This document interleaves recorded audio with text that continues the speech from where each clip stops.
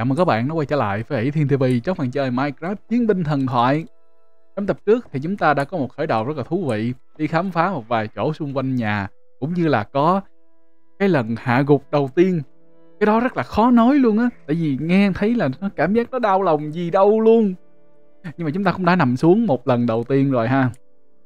Bây giờ chúng ta có cái tàu hay là có cái à, supply ship của My Colony á, thì cái đó có thể làm căn cứ được ở trọng nó sẽ có những cái món đồ hỗ trợ thời điểm ban đầu rất là tốt. Cho nên nếu có thì lấy ra xài. Còn My Colony có làm hay không thì không có nói tới vào lúc này. Ê, ê sao có ê, ê, ê, ê, ê, đi đâu vậy? Ê, ê, làm gì vậy? Làm gì? Nhà tôi mà làm gì vậy? Sao vô đây chứ vậy? Ông có ý kiến gì? Hả ông Jem mời đi ra đi. Chỗ người ta đang làm việc. Người ta đang nói chuyện với mọi người. Ông vô ông đi vô nhà ổng vậy đó. Ông lắc đầu nói rồi ông không chịu đi ra rồi. Phải kiếm đuổi chắc kiếm ra. Sợ. Sợ bó chạy liền luôn. Phải vậy mới được. Rồi, nghĩ sao mà vô nhà người ta không nói không rằng, nhìn nhìn nhìn nhìn này nọ. Chắc kiếm là đuổi đi liền. Giờ mình nhớ là vẫn còn có một vài cây đuốc để mình lấy những cây đuốc ra. Mình sẽ cần phải kiếm chỗ để đi đào. Chắc chắn là phải đi đào kiếm tài nguyên rồi. Thời gian ban đầu chúng ta rất là yếu nếu mà ta không có đi đào thì không có kiếm được cái gì hết trơn á đó, đó đóng cửa lại một cái mình sẽ cần phải có thêm đá cuội. Đá cuội đây. Rồi và làm một cây sẻn nè. Rồi à, làm cuốc chim luôn đây. Thêm cây cuốc chim nữa. Có AIoT không? AIoT cũng có. Là on in one tool á. Món đồ có thể làm được à, tất cả những cái à, chuyện như chặt cây đào đất cuốc đất hay gì đó là làm được hết không có AIoT và mình sẽ đánh dấu vị trí của cái nhà. Home Sweet Home. Xanh. Ok luôn rồi, và đi đào đất.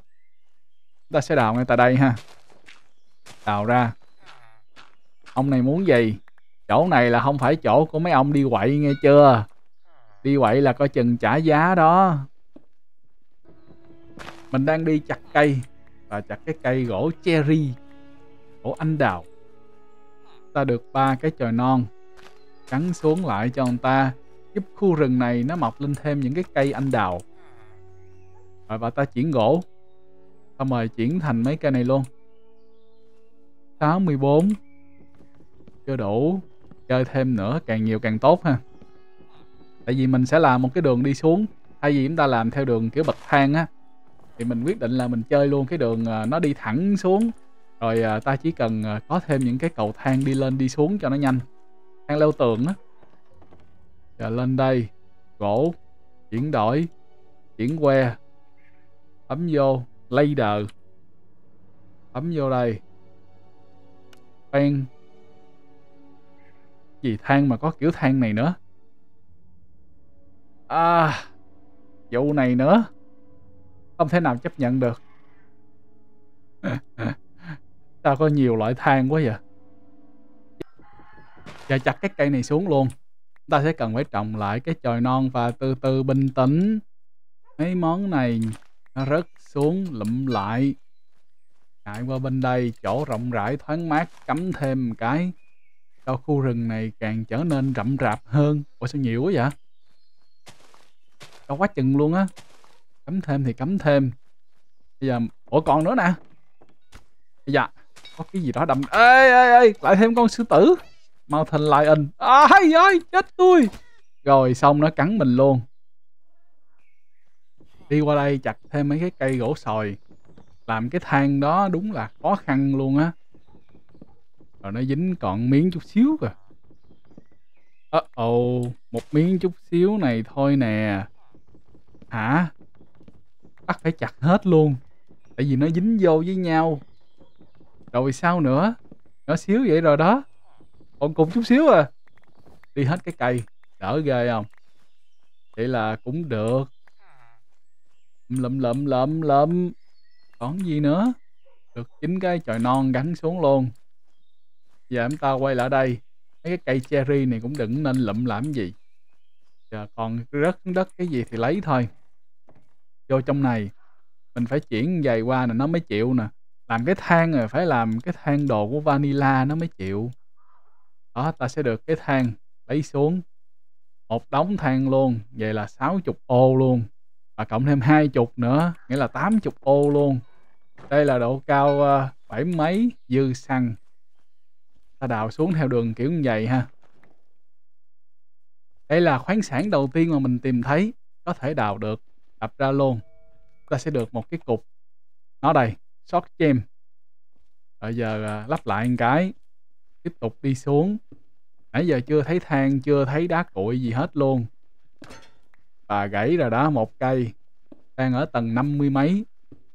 Vẫn còn đi xuống được nữa thì cứ đi xuống. Ôi ôi ôi ôi làm gì vậy, làm gì vậy? Giật mình giật mình. Và đó là dễ bị hết hồn lắm á nha. Tự dưng sao thấy đập cái cục đó ra, cái nó không có gì bên dưới hết á một chân té chết sao? Tại vì khu vực bên dưới đó chưa được lót lên và có khoáng sản kìa. Có ông này nữa. Ông này đâu ra? Ông làm ơn ông đi chỗ khác đi, sao ông xuất hiện ở bên dưới này? Nơi này đâu có vui. Ở đây không có vui chút nào đâu nha. Và cần phải có cái chip envo với lại sắt chúng ta mới chuyển qua bên này được. Và cần phải có da giấy chúng ta sẽ được vậy. Ủa khoan, công thức này nó có gì đó, nó sai sai đúng không?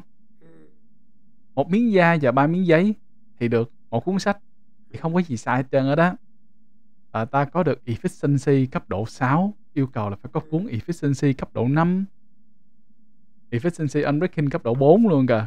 Quá dữ luôn á. À mà khoan cái này là gì? Platinum. Đào lấy platinum mang về luôn.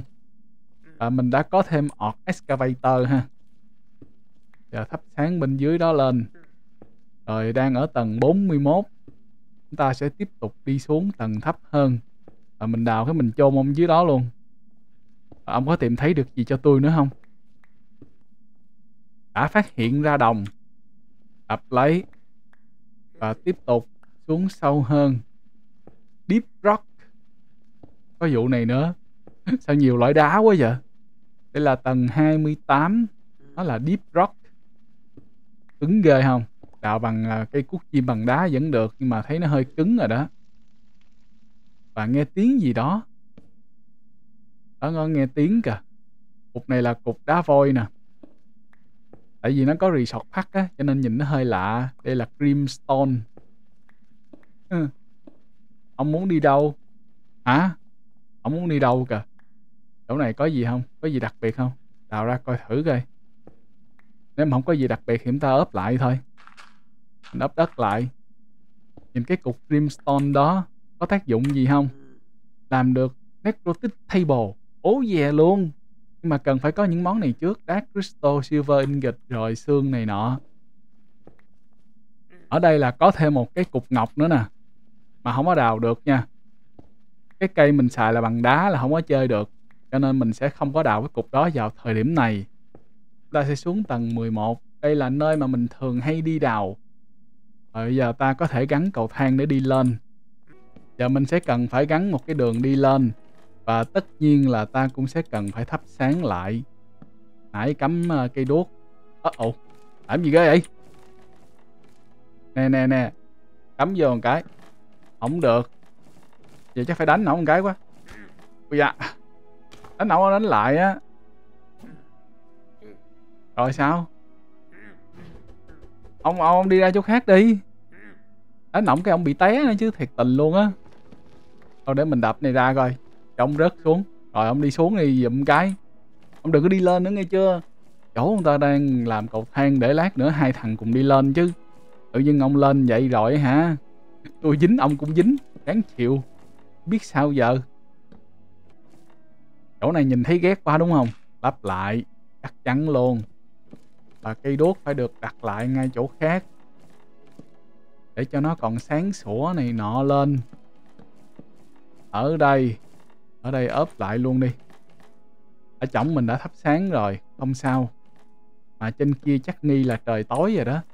Ta thấy tối thui ở trển nè ta lên tới trển mà trời tối là vui lắm luôn á. Trời tối có những loại quái gì sẽ xuất hiện? Ta lên trển coi luôn ha nhìn lên trên à, đồng hồ á ở trên cái bản đồ tròn á nó sẽ có cái đồng hồ báo giờ. Đó là báo giờ trong game hả các bạn? Nó thông báo cho mình biết bây giờ là đang uh, buổi tối mà trời mưa nữa. Thường thì mình không thích trời mưa cho nên mình sẽ đi ngủ. Tại vì trời mưa đi nó khó chịu lắm nên chúng ta đi ngủ một giấc qua tới sáng là được. Vậy vậy vậy vậy gì Blood Moon Rise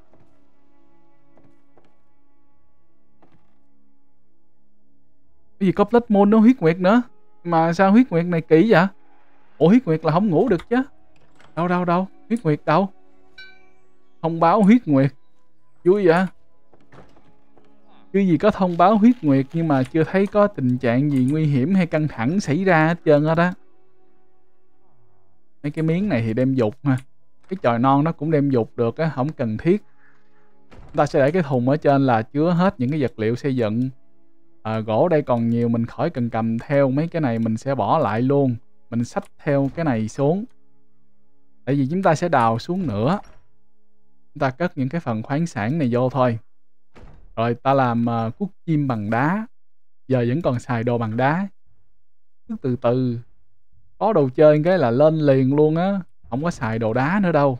Đá cuội đâu. Cục nào là đá cuội nhìn vô cục này. Grimstone ố già có gì kìa? Có gì đông vui quá kìa. Được đồ chơi. Bỏ lỡ một trận chiến. Có gì đó rất là đông vui. Vô cái quánh tùm lum hết rồi biết cái gì rồi đó. Nhìn mấy món này là biết rồi đó. Đồ trang điểm. Rất đồ trang điểm là biết ai rồi đó. Giờ cất cục này lên phía trên nha có cái này cái này là đồ uh, kim loại nè thì mình sẽ cất lên trên. Glowstone dust cũng vậy nữa. Ta đem lên trên. Cái bình này có tác dụng gì hay không? Bình này có tác dụng để làm crit fire. Lửa đó. Này là hộp giống beetroot thôi. Chúng ta giờ cần phải có thêm uh, cuốc chim. Đang vô đây làm cuốc chim các cội. Nó đây. Ta sẽ có được cuốc chim và cây này không chơi được. Giờ phải đổi thành cây bình thường nữa, và thêm giai đoạn nữa. Cho người ta chế tạo luôn cho rồi. Lấy xuống. Rồi mình cần phải làm thêm một cái bàn chế tạo. Bàn chế tạo đủ kiểu hết luôn. Đây là bàn chế tạo được làm từ gỗ cherry.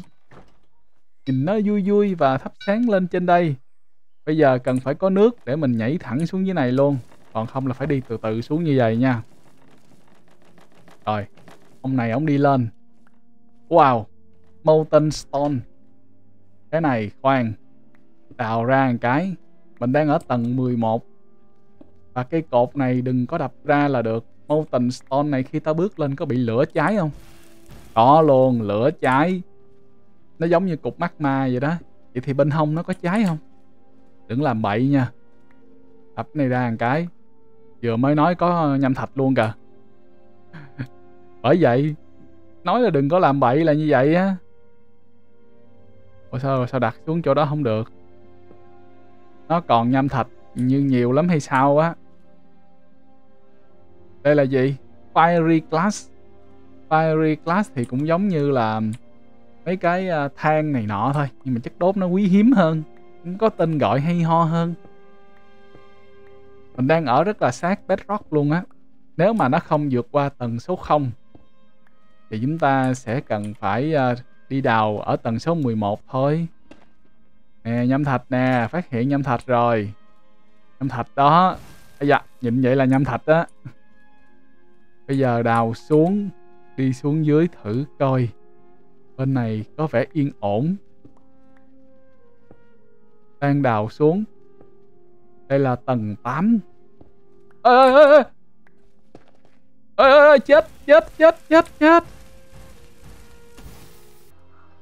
Mình cũng đã nghi ngờ là ở chỗ đó nó sẽ có cái gì đó rồi. Nhưng mà nó lại căng thẳng đến như vậy luôn á. Chúng ta đi xuống. Và mình cần phải lắp lại chỗ đó một cái. Coi thử cái xác của mình đâu. Lắp cái này lại một cái. Ê, bậy nha bậy nha. Để chết đó. Đặt xuống đây. Và đặt phía bên đây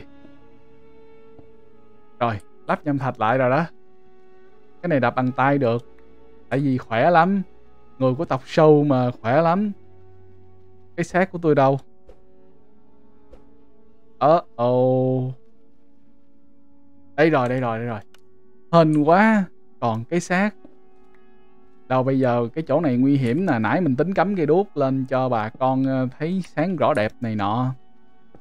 Nhưng mà vừa cắm ra cái đi luôn chúng ta đang ở tầng số 6 và lại có bedrock hả? Đó, thấy bedrock rồi kìa. Thông báo trên kìa, ở giữa á, nó có bedrock hay là đá nền á. Để chặn cái này lại, đập ra thì vẫn còn thấy nhâm thạch. Mình sẽ chặn bên đó lại luôn. Cái này hy sinh cao cả quá nha. Đây là đá nền, không thể nào đào được. Nghĩa là trong phần chơi này ta vẫn chỉ tới được là y là cỡ ờ, không thôi. Ở đó thường hay gọi y không á. Giờ ốp cái này lại, khoan khoan khoan. Để ốp cái đó lại. Nhưng mà mình ốp ở bên dưới. Ở bên trên thì mình sẽ chọn vật liệu sáng hơn.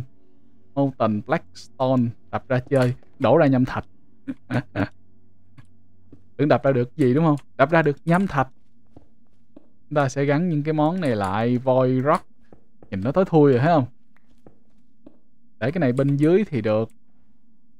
Deep rock có nhiều loại đá ghê luôn á. À, void rock deep rock. Chỗ này là nham thạch cho nên để cái cục này ra. Ao ao ao ao. Bậy quá. À, và đập đập mấy cái này ra thử coi. Giờ ta kiểm tra những cái thông tin hữu ích. Iron ore mình có thể coi được không? Coi được luôn. Nó từ tầng mấy đến tầng mấy?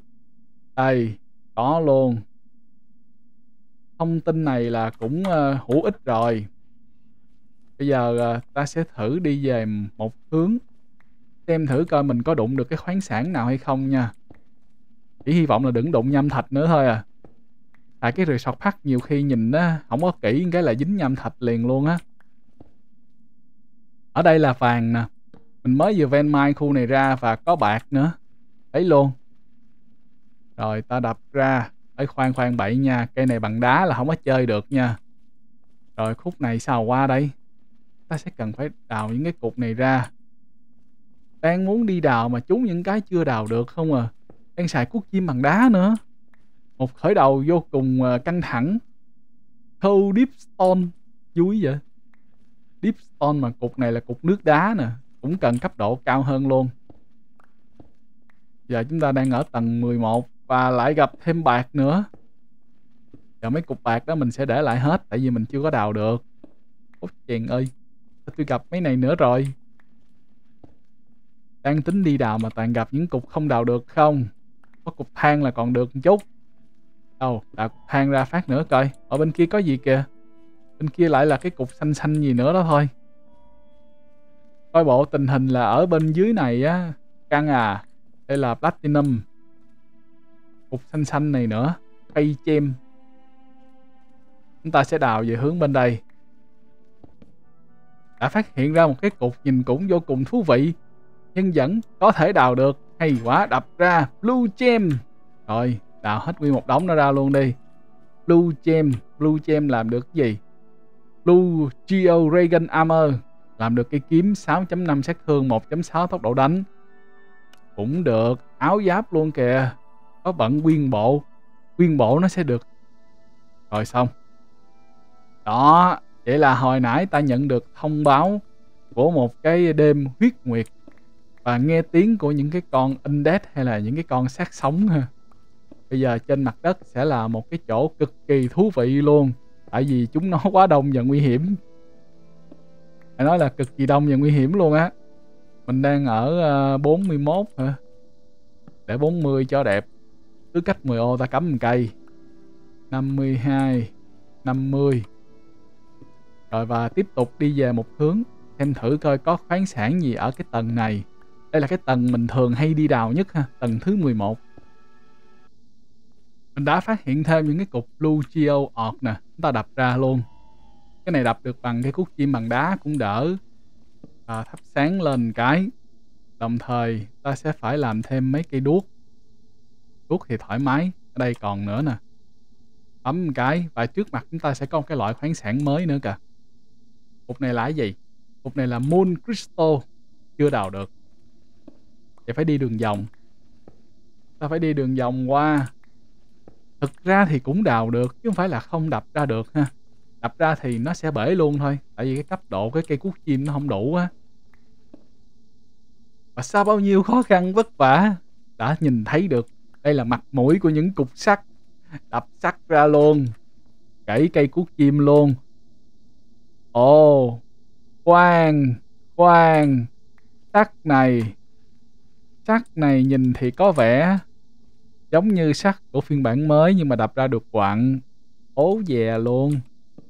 Để cái này xuống ta sẽ cần phải coi cái cuốc chim bằng đá. Thêm cây rìu bằng đá nữa. Nó đây lấy cây rìu xuống. Rồi à, em rìu sẽ chặt cái này mang về. Qua bên đây đập cục này ra. Cục này chưa được rồi tiếp tục. Tập cái này ra luôn. Tập cái này ra luôn. Cắt và bước lên cục này không sao hết trơn nha. Tới rồi đó. Thời tới rồi đó.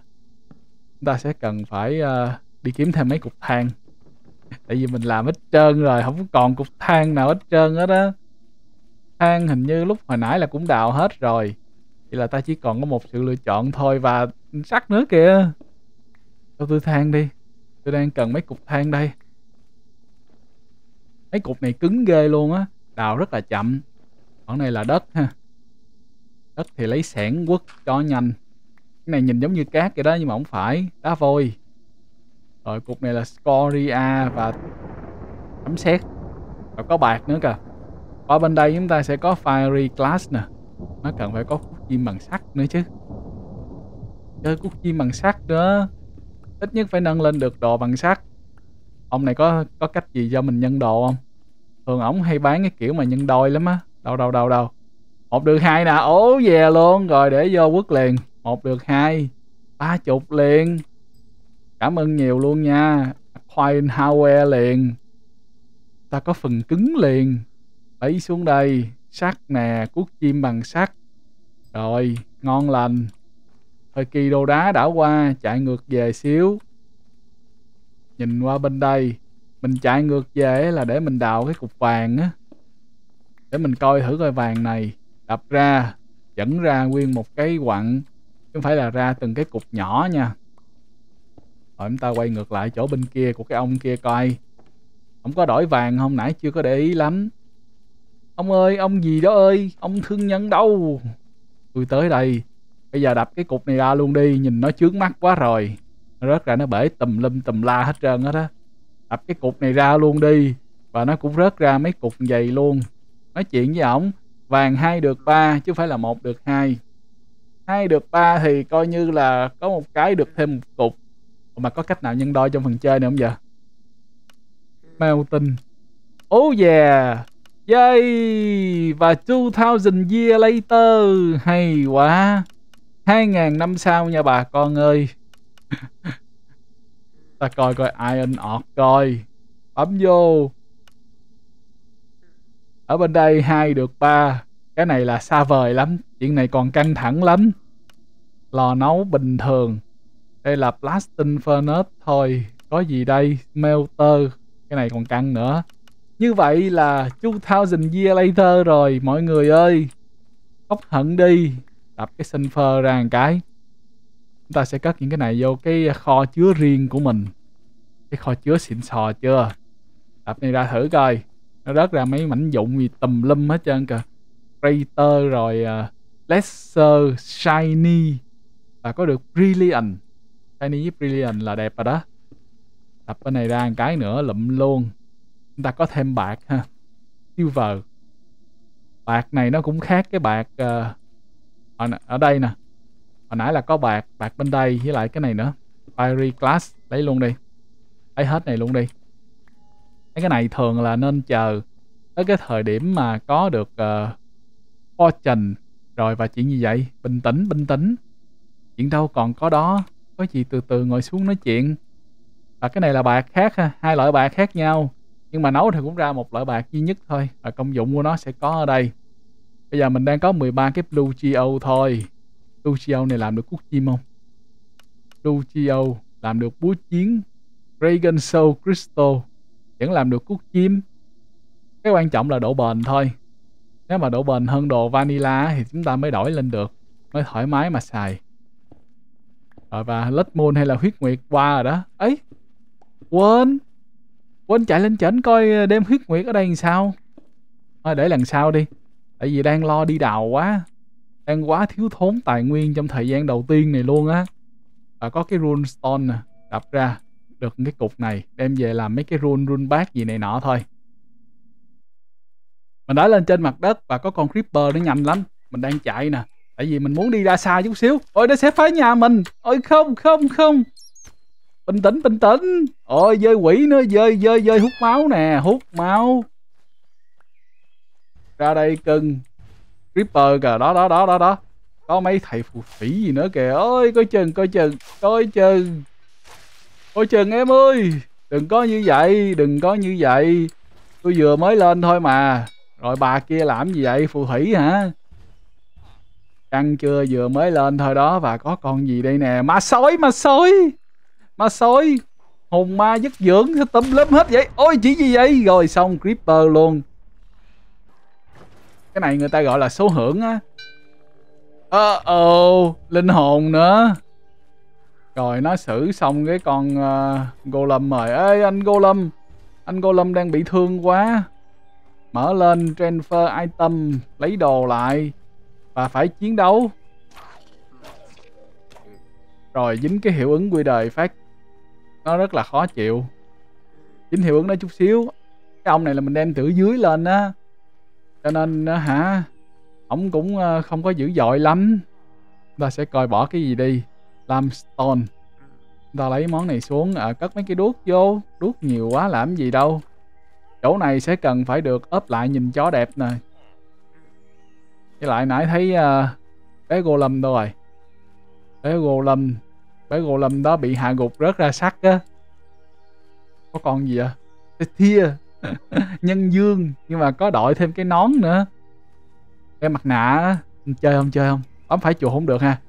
Chơi luôn thi thia. Nó, nó thổi gì vậy? Nó thổi cho mình nghe nhạc và nó triệu hồi đàn sói ra. Thả chó ba con sói. Chơi thả đúng ba con mới chịu. Rồi và vậy thôi. Đừng chọc ảnh nữa là anh không có kêu ra nữa ổ chưa? Mới vô là thấy nổ cái đùng rồi nè, thấy không? Mình sẽ ốp cái chỗ đó lại sau. Nói tóm lại, trong ngày hôm nay thì mình đã có một chỗ để có thể đi đào bới, kiếm thêm tài nguyên, nâng cấp trang bị. Và chúng ta cũng có một cái ông ờ, Goblin Trader để mình có thể giao dịch được luôn. Còn bây giờ, mình sẽ tạm dừng tại đây và hẹn các bạn trong tập kế tiếp. Bye bye!